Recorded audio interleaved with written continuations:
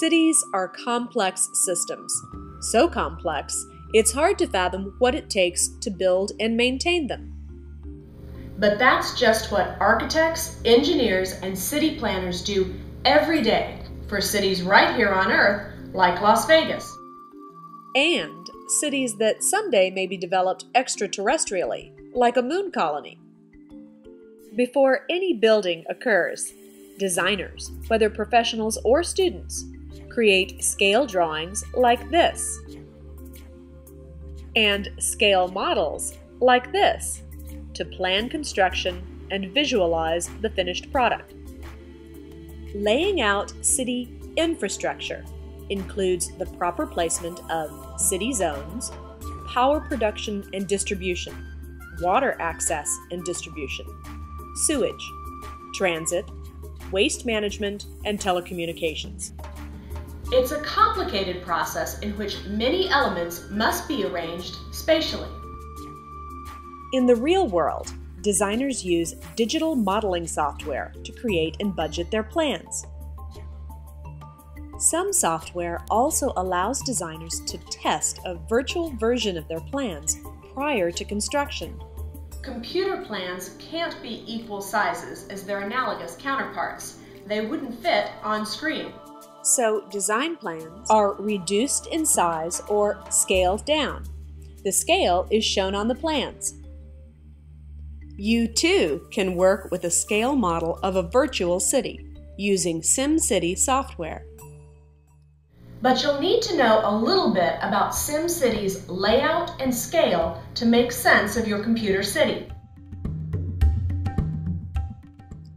SimCity's geographic spaces are called regions, and regions are comprised of rectangular cities.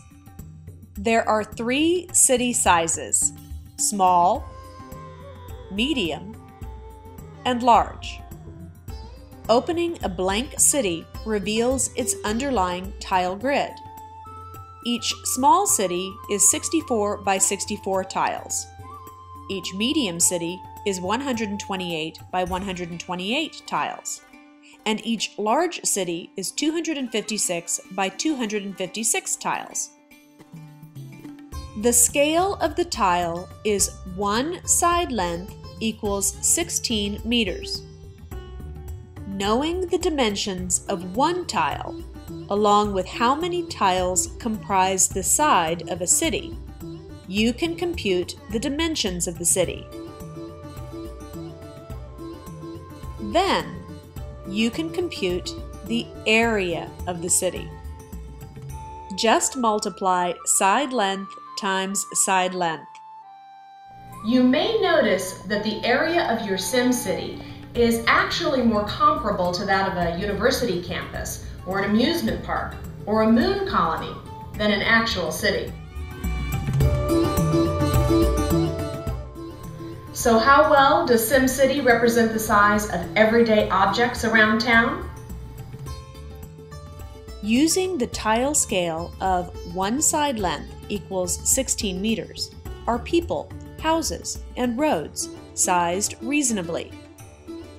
To figure this out, you'll need to measure each object in terms of tile lengths or fractions of tile length.